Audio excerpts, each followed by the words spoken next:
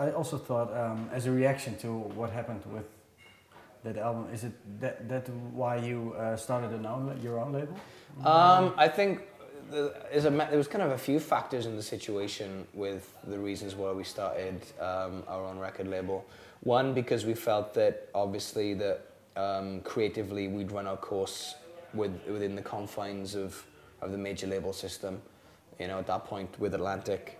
And another point is the way that the industry was developing. Mm-hmm. It became more beneficial for us as a band to maintain uh, our kind of our work ethic and our standards on our own you know, without having to compromise or give up kind of streams of, of even income that we couldn't really afford to lose to this new system of deals that they were kind of making for new bands. And, and we felt that that would, uh, would crush us, would literally make us unable to be a band anymore.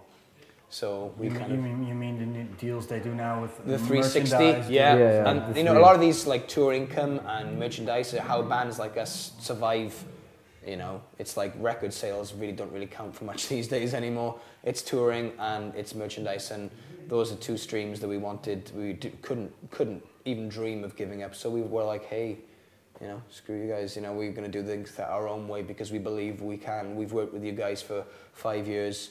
We know what we can do and how we can benefit ourselves now. You know, we've worked with different producers. We know how to make records cheaper that sound better. You know what I mean? It's like it's it's it's really benefited us in, in so many ways being independent. yeah. It's allowed us to ha- kind of even find record labels in other territories that really believe in the band rather than feeling like you're a burden on somebody else's kind of, you know, situation, you know? So, like, Yeah. like we felt previously. Okay, okay. um, yeah, okay, and then you started um, the new album, Memory and Humanity. And after the, well, what you said, experiment of the last one, um, did you have, when you started the album, or uh, writing songs or recording, um, did you have a, an idea in your head? What, We talk about it, don't we?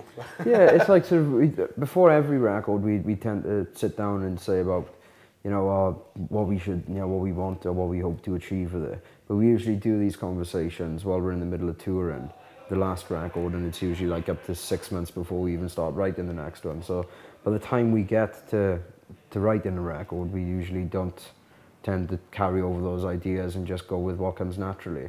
But I think that for this what, album, what kind of ideas did you have then on the tour bus? uh, no, I was just saying that, like, sort of, uh, some of them have definitely, you know, I, I feel that, you know, we, we did keep them in the back of our minds when we were doing this, and that we, uh, we wanted the songs to be a lot more, sort of, uh, to have a lot more energy about them, do A you lot know more what I mean? direct.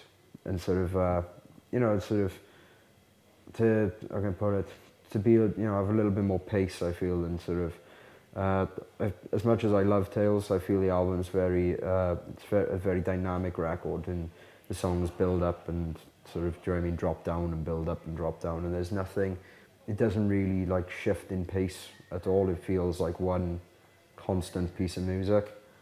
But for, for this, like, like I think the one thing we wanted to do was to try and take all of the different things we've played around with, and just sort of, you know, chuck them all together into like sort of, you know, into single ideas. And I think that we that's what we managed to achieve with this record.